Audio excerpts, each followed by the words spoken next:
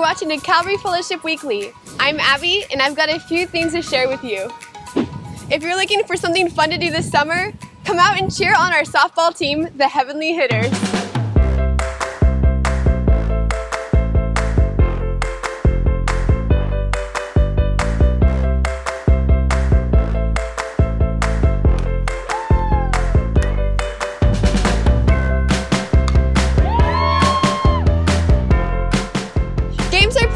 Sehmel Homestead Park in Gig Harbor. You can find the schedule on the events page of the church app or at calvarygigharbor.com.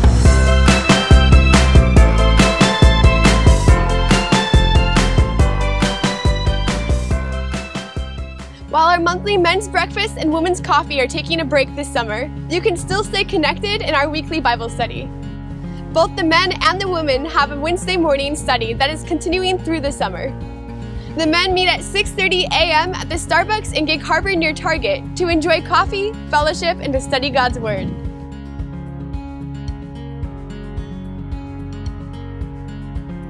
While the women will be at Laura Calvert's home in Gig Harbor at 9:30 a.m., where they'll be going through a study on the Psalms this summer. These groups are open for anyone to join. You can contact the group leader for more information at calvarygigharbor.com.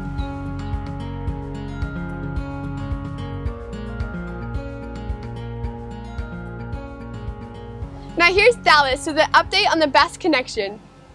Morning, Calvary. I'm Dallas, my wife Nikki, just coming to you this morning with a little uh, message from Basque Connection. So, first of all, I wanted to thank everybody for the awesome support that you've given to uh, the mission so far this year and just the funds that we've raised and, and the time that you guys spent um, with the baked goods and everything. The stuff was awesome. We're super appreciative. And uh, all those donations, all those funds raised are going to ensure that the kids, the Basque kids, have an amazing time in the United States this summer. So we're super grateful for all that. Finances are super important part to any mission. Um, but I have a special request this morning. Um, Uh, Nikki and I started in the Basque ministry five years ago and just remember standing and it was like standing in front of this huge mountain and thinking how in the world are we going to climb to the top of this thing? I know i know god has amazing views amazing things planned for us and the journey is going to be amazing but how do we get all the way up there? And you know at times serving in this mission it's you know it can be discouraging i mean it can just be downright exhausting and and sometimes you feel like you're just standing in, in, the parking lot at the trailhead and haven't even started up the mountain yet, you know? And so, um, you know, but I know that um, in First John 5 14 says, and this is the confidence we have toward Him, that if we ask anything according to His will, He hears us. And so, what I want to ask you guys this morning is to just partner with us in prayer.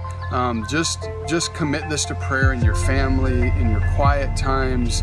Um, we can use all the prayer that we can get, not just for us, but for anybody that's serving in, in this mission to the Basque people. It's just super important, and I know that we can go boldly before our King, the God that created the universe, and ask anything of Him, and He hears us. And so I would just ask for you, um, Nikki and I will be traveling to Basque Country uh, next week to um, pick up the students.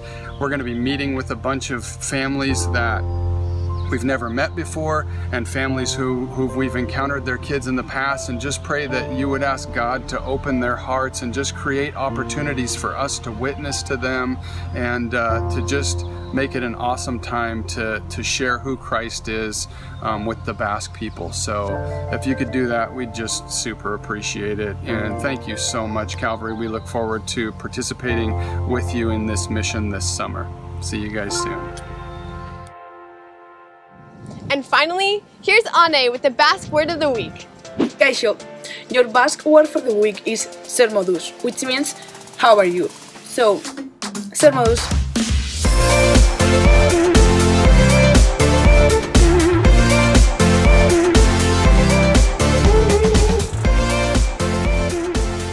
And that's all I have for you this week. If you'd like more information, check out your bulletin, the church app, or visit calvarygigharbor.com.